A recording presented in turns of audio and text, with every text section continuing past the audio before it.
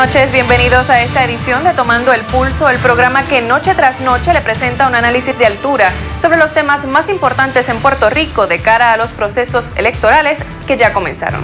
Nuestro panel de hoy está compuesto por el representante Ángel Gary Rodríguez por el Partido Nuevo Progresista, por el Partido Popular Democrático, la candidata a representante por el Distrito de San Juan, Sonia Pacheco, y por el Partido Independentista Puertorriqueño, el cocoordinador del programa de gobierno, Luis Enrique Romero. Buenas noches a los tres. Buenas noches.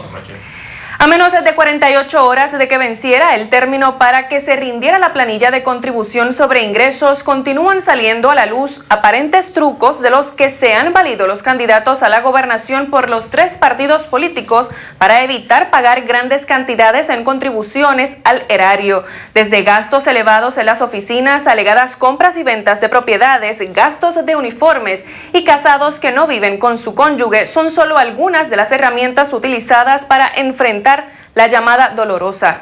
Debe ser el código de rentas internas más riguroso para evitar estas vertientes favorecedoras para algunos. ¿O es esto el reflejo de lo que utiliza la mayoría de los contribuyentes para salir bien librados de la planilla?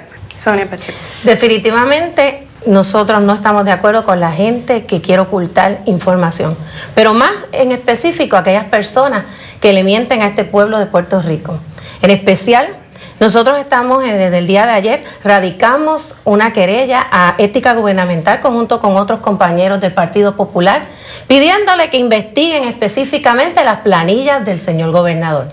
Un señor gobernador que se ha eh, mientras este pueblo de Puerto Rico, todos los puertorriqueños nos hemos empobrecido, él cada vez es más rico. Ha duplicado a dos millones el salario. ¿Cómo es posible cuando en Puerto Rico todos estamos pasando, toda, en toda la familia, haciendo una composición de mejora? ¿Cómo vamos a mejorar lo económico? ¿Cómo vamos a mejorar la forma y manera en que nos divertimos para poder ahorrar? Y el compañero Bendito, el compañero y ser humano puertorriqueño, nuestro querido gobernador, la primera familia puertorriqueña, sigue teniendo más ingresos. Por eso es que nosotros tenemos que estar bien claros de cómo es que se radican las planillas, que esos anejos estén públicos para todo el mundo y en especial que las medidas contributivas y especialmente todas y cada una de las leyes que sean aprobadas por el gobernador no sean para satisfacer el bolsillo de él y de sus amigos. Sonia, más allá del Departamento de Hacienda o Ética Gubernamental, el presidente de su partido va a presentar en blanco y negro la, la planilla del 2001, que es la que, entre otras, es la que más irregularidades aparentemente ha demostrado. Bueno, nosotros entendemos que él va a tener en su día el foro correspondiente para presentar cualquier, eh, aclarar cualquier duda que tenga sobre su planilla. ¿Y cuándo será en su día? Porque se lleva pidiendo hace mucho tiempo. Nosotros entendemos que él ya radicó su planilla en el 2001, que está disponible en el Internet para aquellas personas que la quieran ver y cualquier otra duda que también en la oposición constantemente tiene en contra de, de nuestro candidato, porque es bien fácil decir que le estamos tirando sombra al gobernador. Claro, cuando tú tienes el poder de contratar y tener al banco directo donde también trabaja tu esposa, porque aquí no es cuestión del género, de que es la esposa de la que le estamos afectando, es cuestión de que ha sido la única familia puertorriqueña que ha dirigido este país desde la gobernación, donde se ha enriquecido más que cualquier otro gobernante en la historia puertorriqueña. Nosotros tenemos que dar ejemplo. Mientras hay austeridad en todos los sentidos, nosotros también tenemos que hacerlo. Y Alejandro García Padilla, su meta principal en este momento, es cuál?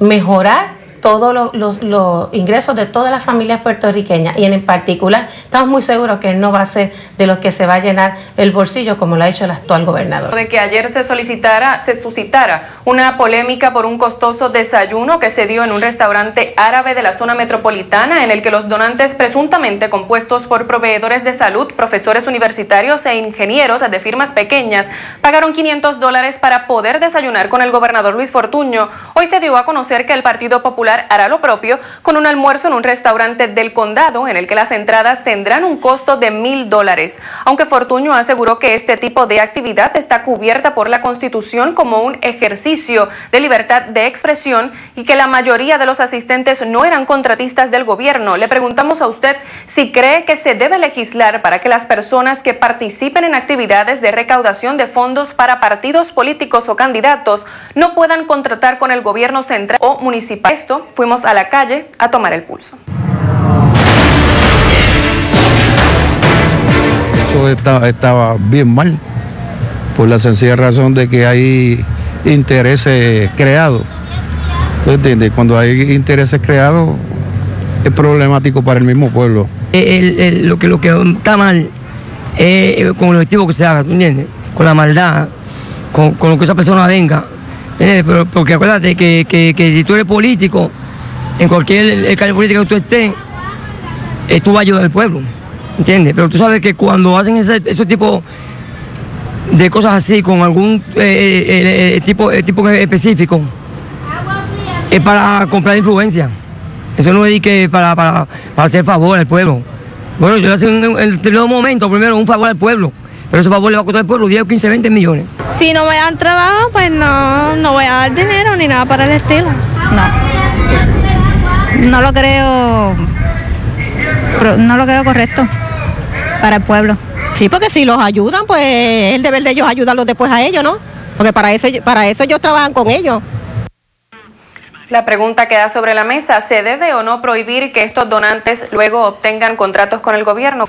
Bueno, sin importar las directrices del gobernador Luis Fortuño, la presidenta de la Cámara, Jennifer González, ya advirtió que continuará con sus planes de darles permanencia a empleados en puestos transitorios en el gobierno. Anunció que próximamente se iniciarán las vistas públicas de este proyecto, sin prestar atención a aquellos que le han criticado su medida en momentos en que se hicieron miles de despidos por la ley aunque defiende con uñas y dientes su propuesta y niega que la misma sea para asegurar el empleo por asuntos políticos, aún no ha podido explicar de dónde se obtendría el dinero para cubrir las plazas y dijo que el análisis le tocará a la Oficina de Gerencia y Presupuesto. ¿Qué le parece a usted esto, Sonia Pacheco? Definitivamente ya saben que van a perder y tienen que atornillar a su gente en los puestos que le han creado a última hora. Muy triste y penoso para aquellas personas que por la ley 7 perdieron el sustento de su hogar. No estamos a favor de una legislación en atropello a lo que es la democracia, a lo que son los procedimientos gubernamentales en el que pueda participar la gente y poder tomar la decisión más correcta de aquel funcionario que realmente puede hacer el trabajo. Nosotros no podemos estar favoreciendo a una persona porque llegó de tal partido a hacer un trabajo. Yo creo que es una falta de respeto también a la disciplina del partido, ya que su gobernador no está de acuerdo pero estuvo de acuerdo sí en despedir a todos los puertorriqueños que por la ley 7 actualmente están pasando. Yo creo que no se debe hacer. Eh, y ningún, ninguna persona ni del Partido Nuevo Progresista debe, de los representantes que están allí, eh, apoyar a la presidenta de, la Cámara en esta iniciativa que realmente lo que reafirma, sin lugar a dudas, es que es una politiquera, que es una persona que lo que quiere es hacer solamente valer el trabajo de la gente que le ha servido a ella políticamente. Basta ya de eso, no tenemos tiempo para nosotros estar eh, haciendo trabajo político por ahí, lo que hay que hacer es trabajo para buscar nuevos empleos, crear nuevas, nuevas fuentes de ingresos para Puerto Rico y traer gente que necesite al servicio público y dar la milla extra como en Puerto Rico así lo necesita. Muchísimas gracias a los tres por haber estado con nosotros esta noche. Amigos, y de este modo llegamos al final de esta edición de Tomando el Pulso, pero recuerde que su cita es de lunes a viernes a las diez y media de la noche para un análisis de altura sobre los temas que a usted le interesan sobre la política actual de cara a las elecciones generales. Gracias por su sintonía, que tengan todos buenas noches.